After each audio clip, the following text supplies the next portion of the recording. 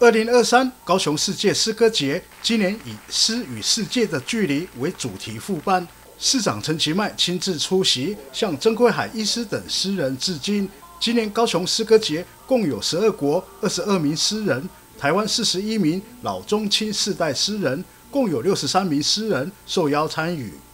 这个是我们二零二三年高雄城市书展啊，其中一个非常重要的活动，就是啊，延续我们在二零零五年的高雄世界诗歌节的，在魁别了呃将近有十七年的时间，再重新举办啊。那有来自二十二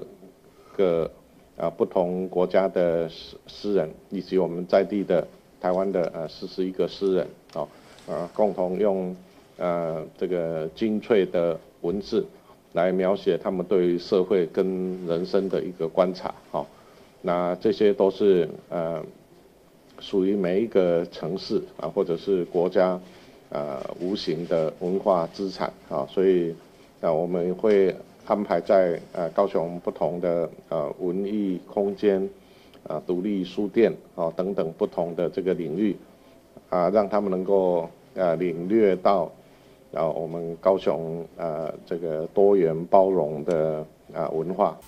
陈其迈表示，诗人、文学家是台湾重要的无形资产，他们是伟大城市的象征，在福尔摩沙这块土地上创作出优秀美好的文学作品、诗歌、小说，永留人心，也让全世界看见。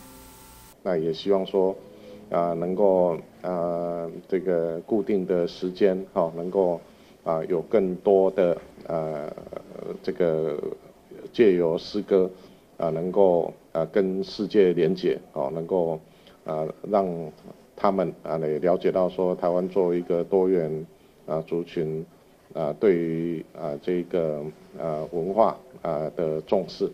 啊，所以我们呃希望说以后能够固定。的期间都能够来举办啊，这个那个国际或者是世界啊诗歌节，能够让更多的诗人能够齐聚到高雄。高雄诗歌节是今年城市书展核心活动之一，串联高雄在地超过二十家独立书店、学校、民间艺文空间，以“诗与世界的距离”为题发表创作。记者李正道高雄报道。